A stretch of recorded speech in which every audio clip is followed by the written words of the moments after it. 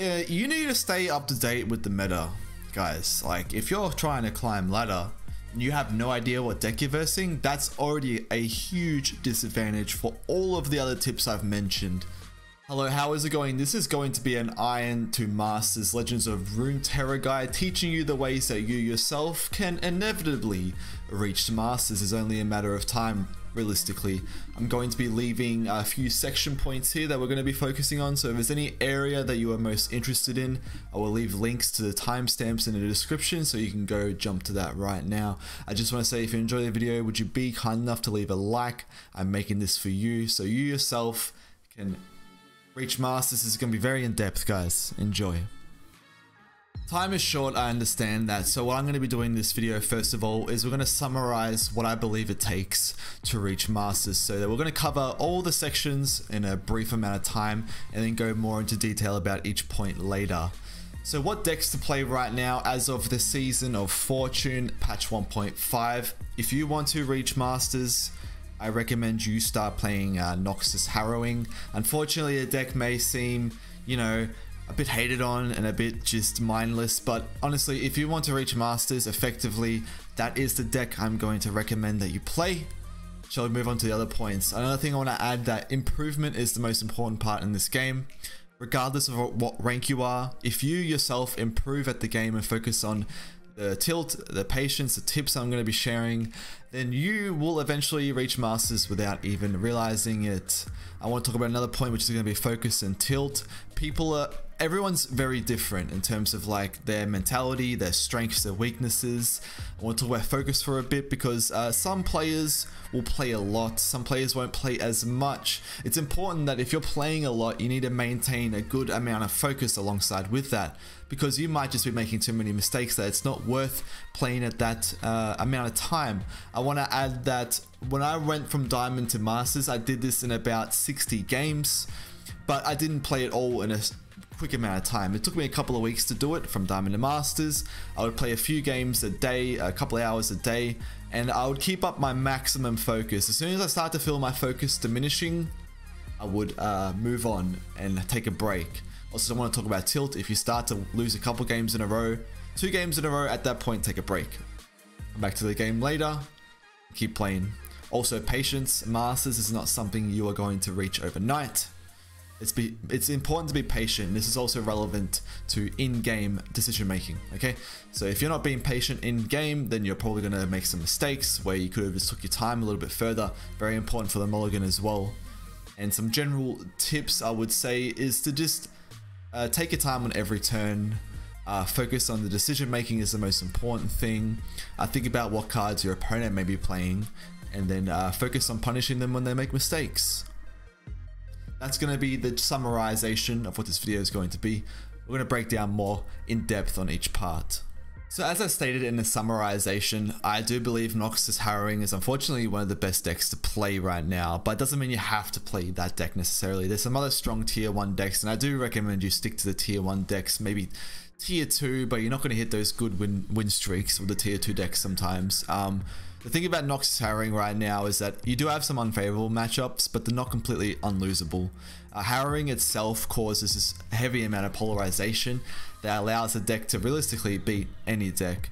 Outside of that fact, it has good matchups against Ionia, which is quite prevalent, and people love to play Karma Ezreal and Heimerdinger, and you're going to kind of uh, not have a favorable matchup against Shadow Isles and Anivia Braum decks, but you still can take wins off them, so don't get me wrong. If I could recommend any other deck, it will probably be Karma Ezreal right now or Heimerdinger if you really want to climb. Within, within these three decks, this is the way to go. You can actually opt into playing a couple of those decks and mixing it up. If you're kind of like trying to really abuse what you're facing at the moment, if you're simply facing Anivia Braum over and over, consider changing decks and move to Karma Ezreal. But most of the time, you probably it's not going to work out as you might hope. You might switch decks and end up bumping into a matchup you wouldn't have preferred anyway. So generally, I will say stick to one deck. Tier 1 deck, I understand. Like, if you really like to experiment with decks, unfortunately, that's not going to be the way to climb. I know it might sound a bit of a shocker, but doesn't mean that you can't be the one who implements and, you know, creates a deck that's really powerful. But if you want to get there right now and you're not as confident in deck building, Noxus Harrowing, Karma Ez, Heimerdinger, Those are going to be the decks to play. And then from there, shall we move on to improvement? So improvement, as I said in the summary, if you focus on improving in this game, that is going to be how you naturally climb without even realizing. It's important to like look at where you went wrong because that's going to be your first track for getting a lot better. If you can understand at what points in the game that you're making mistakes, then you can be sure to capitalize on them in the future.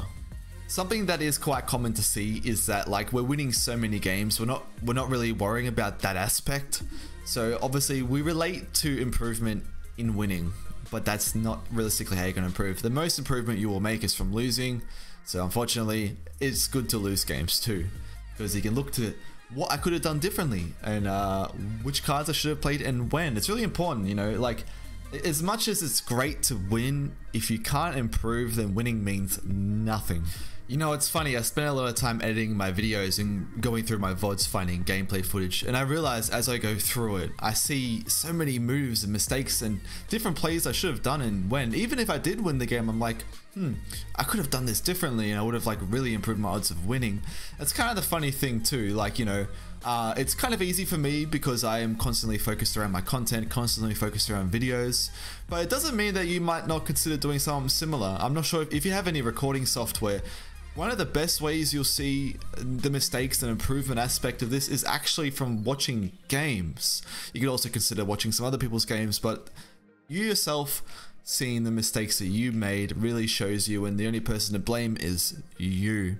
So if if possible, if you have the patience, which kind of doubles up with patience, reviewing VODs is a great way to uh, improve. It's probably one of the best ways to improve visually seeing the game the games play out and what could have been done differently is really going to boost the speed at which you improve and that is no exaggeration now I understand people might not have as much access to you know being able to record their games or review their games. Unfortunately there's no way to like really at the moment implement in-game a way of watching a replay. That would be kind of interesting though Runeterra. Uh interested in seeing some sort of some sort of way to watch the replays.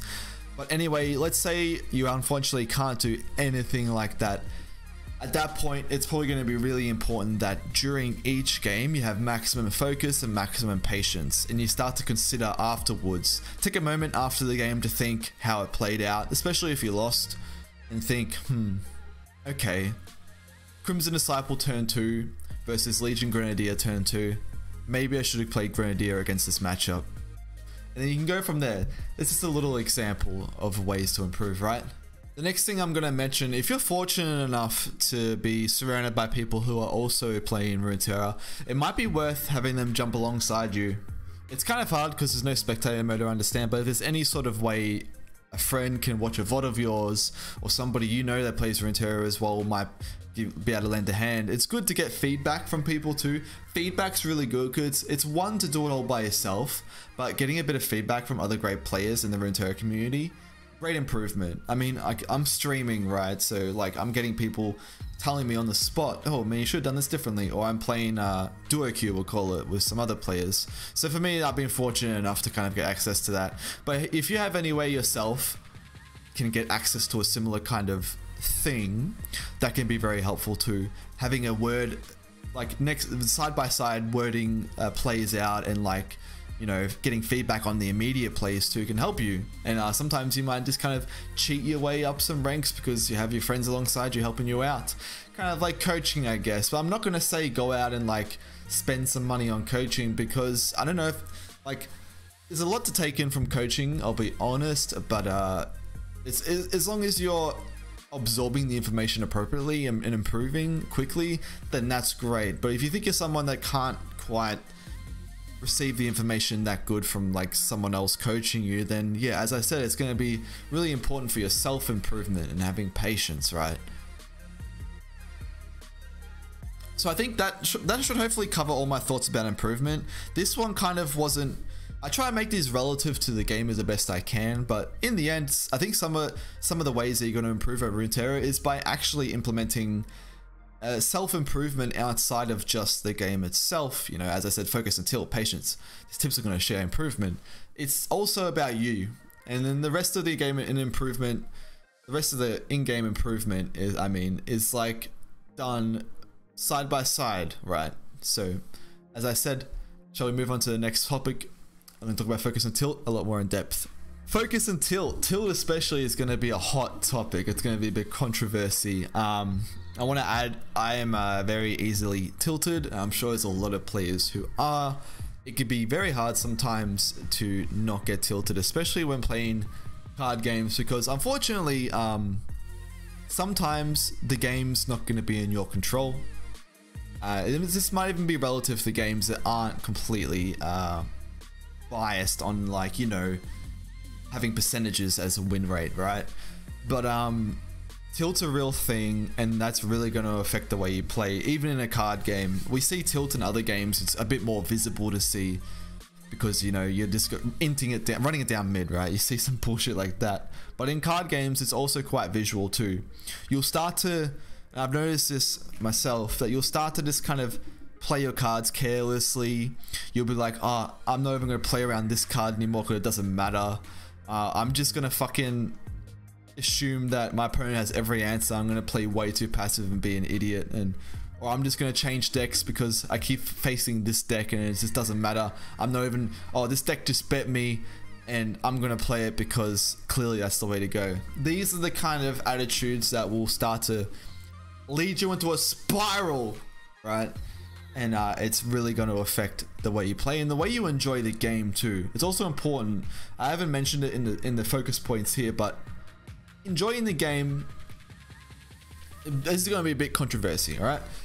Um, sometimes climbing to masters isn't always enjoyable, but you find enjoyment in, the competitiveness, right? That's kind of like it's a weird way of looking at it, I understand, but most importantly, if you're not 100% enjoying the game, and what are you doing? Why are you watching this video?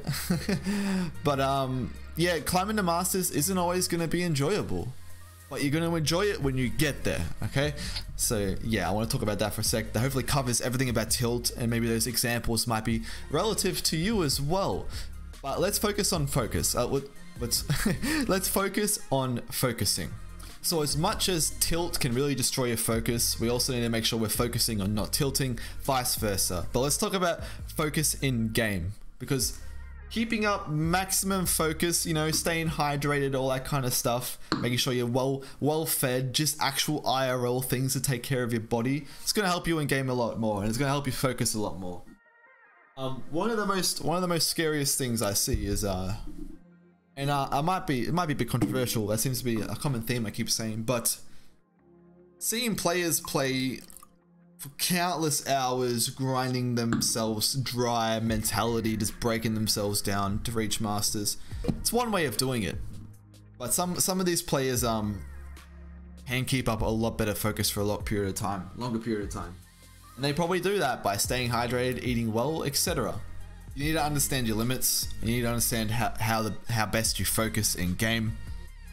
For me, it's a couple of hours a day, keeping up maximum 100% efficiency. And then as soon as I start to feel off, that's when I'll take a break. But you can also focus on your focusing, right? Taking your time and being patient is a big hand in hand thing for focusing. As soon as the game starts, start focusing. Don't have like if you're if you're really wanting to climb, don't have like other stuff going on in the background. Don't have like you can have streams on in the background. I don't know. It's kind of it's all on you. But if you're someone who gets easily distracted, then only have the game open. Be focused on that game 100%. I'd rather that you would play less games with more focus than more games just being easily distracted. Does that make sense? I think that makes sense. So for me, um, when I'm streaming, I actually don't have as much focus as I should. But that's because, you know, I want to be engaging with the community and chatting with all the people watching.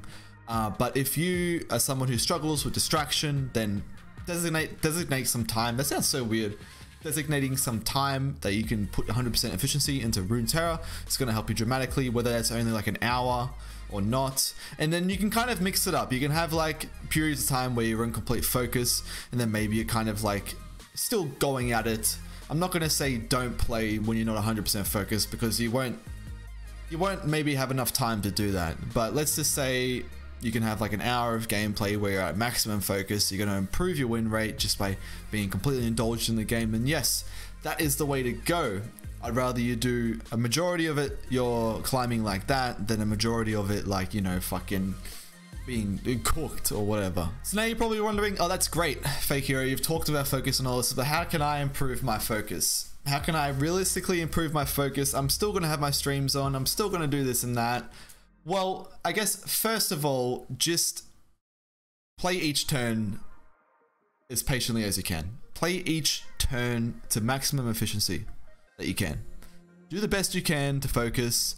Um, if you've got other like obligations and distractions, then just do do your best to focus. I guess that's the one thing about focus, right? It's not like something that can be as natural for some people as it is for others. But just take your time. You get access to a lot of like the rope. This is kind of like dripping a little bit into patience as well. Just like you've got a lot of time per, per each turn. I know you might tilt your opponent by roping them, but uh, seriously, just take your time, think it through. Uh, as the game goes on and on, start to plan out your turns, and then uh, see how you go. Hopefully that covers enough on the focus and tilt. Um, shall we move on to patience, even though we kind of covered it? Okay, so patience. Uh, how can I talk about patience in a way that is super relative to the game, right? So, first of all, if you spend a lot of time having a lot of patience right now, then your games will get easier and easier, if that makes sense. If you take your time to learn your deck, get super comfortable with it, and be patient with the gameplay, then it's gonna get easier for you, and then things are gonna start to happen like unnaturally, like or naturally. It's just going to become like kind of like muscle memory for your gameplay, which in sense can help you focus a lot more too, right? So patience, focus coming really hand in hand at the moment, really uh, bleeding into each other. Spend a lot of time having a lot of patience with your focusing on the game. Uh, each game, be very patient, rope your opponent, they're going to be tilted with you. It does not matter. You want to win, you want to get better, you want to improve. Be patient, first of all, then things will get a lot easier. You can also be patient uh, with your opponent too, right? Don't fucking get mad and tilted if your opponent's taking their time. It doesn't matter. We're here to improve, we're here to focus, we're here to not tilt, we're here to play the best decks, and I'm gonna share tips in a second. And yeah, be patient. Also be patient with like, as I said earlier, um, you know, doesn't have to be just in game. Be patient out of game. Like take some time to just think about what you could have done differently as I said earlier. That's another thing about patience too. It's easy to just like, you know, keep spamming out games and just fucking ah like masters. Fuck yeah. Take a bit of time to be patient even in between games. Sit back for a second. Just be like just take in the game. Just be like, "Oh, that game went pretty well. I did this and I really outplayed my opponent." Or, you know, like sit back, oh, I lost this game, but you know what? Now that I think about it, maybe if I hadn't have played Harrowing, I might have won. Be patient in game, outside of game. Be patient in life as well while we're at it. Bit of a self improvement there. And yeah, you'll naturally start to get better. Your patience will improve, your gameplay will improve, and then you'll eventually start fucking getting to masters more sooner. Just be patient with your opponent too if they rope you every turn. Sometimes they do it to tilt you. It's all about the mind games, okay? Mind games. You might even tilt your opponent in sense by being a super, super patient player. They might think that you're trolling, but who cares? We're here to win. Right, so this one's probably going to be realistically the most popular. I would imagine a lot of people will click to this point to really see what my tips are. So these are going to be my personal tips. I didn't write personal tips. They kind of are general tips and personal tips, but I'm going to share tips that I believe can really boost you to the next level, okay? So tip number one probably to be my best tip, and that is once you have like kind of mastered a deck and you've gotten super comfortable with it, one of the best things you can do, and I've said this in previous card games, and this is like my go-to strategy for a lot of card games and just games in general. That is going to be to focus more on what your opponent's doing than what you're doing. Of course, I don't mean that. I mean that semi-sarcastically, but if you can start to focus a lot more on what your opponent's doing as well as by being familiar with what your cards you're playing and stuff, think about what your opponent's doing. That way you can really get into their head and punish them. I think a lot of the time you can put your opponents into positions where they play into you by just focusing on what they're doing. Hand reading is a huge thing, right? Hand reading is a huge thing. It's really good to focus. If there's a period of, if there's like a, a point in time in game where X card would have been superb, let's say Vile Feast would have been like a, such a good play for your opponent to make against you, and he didn't play it, he's probably not got it.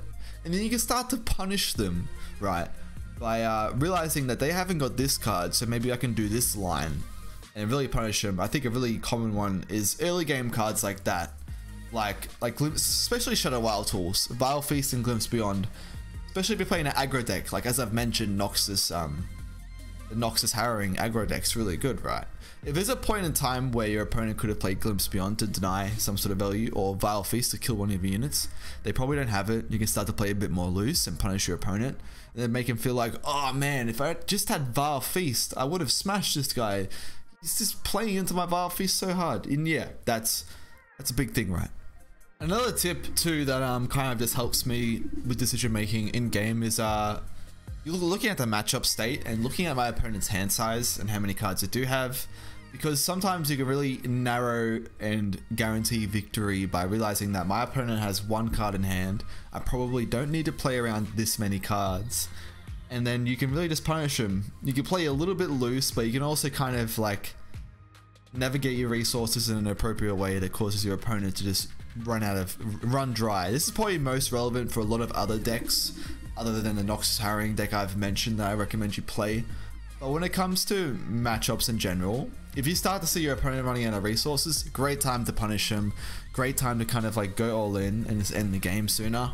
And yeah, that's definitely helped me a lot as I've improved. Is looking just simply how many cards my opponent has in hand. First of all, then you can decide what card you think they might have, and then if they have that card, then they don't have this card. So then you can do this play and it should work. Or I'll take a coin flip right now, but my opponent probably hasn't got this card, so I'm gonna win the game. Okay, during your mulligan, this is probably like one of the points in the game where you should take the most time with. When I, when I was talking about focusing, uh, focusing earlier and uh, patience, take the most time in your mulligan. That is uh, the most important part of every game, every card game in general. Just any TCG game, digital or uh, in real life, traditional, I mean. Mulligan's super important. That's the point in the game I'd recommend for anyone to spend the most time improving on. And yeah, you might be mindlessly just like, oh, I'm just gonna look for the early game. I'm gonna look for one, two drop, three drop. Consider the matchup that you're in right now. It might not even be that bad to keep multiple three drops. It might not even be that bad to not even look for the one drop. Uh, for example, with Noxus Harrowing, if I kind of get given a hand that has these cards and no one drop, I'm not going to full mulligan aggressively looking for like a one drop to start off the game because I think that's how I win. I'll probably keep double Crimson Disciple here and there with a three drop, or uh, I might keep Harrowing in the opening hand against certain matchups because Harrowing is legitimately a way to beat up on control decks. Uh, so there's been times where I've kept Harrowing in the opening hand for it, but this is also relative for any other matchup mirror matchups, you know, uh, unfavorable matchups, all these things you can do to improve your win rate, and it all starts in the mulligan. So take your time with the mulligan, it's going to help you a lot and it's going to boost your win rate. Literally, you might win a game strictly from mulligan if you play it right. Um, next tip, um, this probably should have been brought up a bit earlier in the video, but we're here, around, we're here now, we're talking about right now. Uh, you need to stay up to date with the meta guys. Like, if you're trying to climb ladder and you have no idea what deck you're versing, that's already a huge disadvantage for all of the other tips I've mentioned. Stay up to date with what decks people are playing. If you have no idea, then you're you're, you're already at a huge disadvantage because you just get bet by a card you didn't think was going to be there or you played around a card that they never had and you'll never know. Stay up to date with meta. There's plenty of resources out there. I'll leave some links in the description. Uh, if you can at least limit the amount of randomness and then you're already going to improve your percentages guys like i'm always up to date because I, i'm fortunate enough to like be involved in all this and like i really just get enthusiastic and uh, and is passionate about all the decks, but um, it makes a huge difference. And as soon as you start to see decks that you're like, huh, I don't know what deck this is. Go to a website, go look for information, go find out what deck this is, and then have a look at it quickly. So at least the next time you may face it, or if you can do it during the game, that's even better. Bring up the deck and then see, oh, this person probably hasn't got this card. I'm gonna fucking punish him for not having that card.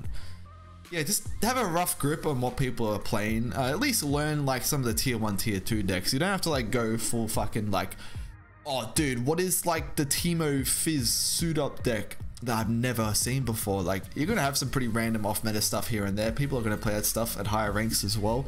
Just get a grip for some of the most popular decks. That's gonna help you a lot. You know, go learn about Heimerdinger, even have a game with it, whether or not it's ranked or not. Learn about Karma-Ez, learn about Harrowing Darius, but at this point you're probably like fucking like ah fuck Harrowing Darius. You know, go see what cards they're playing, understand the matchup, uh, play around the cards that they don't have, uh, play around cards that they might have. You know, it's all kind of very basic stuff. Stay up to date. Um, you know, watch some streams, see what people are playing. There's many ways you can do it yourself. Uh, one of the ways I do it, I'm not, I'm not like sponsored or anything, but I use Mobalytics quite a lot for um, getting my resources. And um, outside of that, I mainly just look at the tier list, right? I see what's popular. Outside of that, I see some people playing a deck. I will go if it's something that's like not as popular, but might is kind of seeing a lot of competitive play, I guess in a sense. Um, and I'll go try and search it up really quickly. You can actually like search uh, for the champion and the deck colors specifically and see what those decks might be. It helps a lot. So yeah, start to understand the matchups, and uh, over time you'll be able to naturally just play the games better. Now, another thing I want to mention is that the beauty of the game is some games are going to be pretty random, some games are going to be lucky, some games are going to be unlucky. That is just that is just a grind. And this is pretty much a grind to masters if I'll be honest. Um, you know, you might not have to reach masters right now, but we have that reset where we get pushed back a few ranks. We don't we don't always full we don't full reset back to the very start, right? We get pushed back a little bit. So whether or not you don't you hit masters right now or in the future, don't be disappointed if you're not getting there right away. Be patient, keep focusing, be tilt proof, focus on improvement, play the good decks. These are all this is gonna be my main tip. This is what we hear, this is what we talked about when I summarized it. That you will eventually get masters if you really want to get masters, okay? Thank you so much.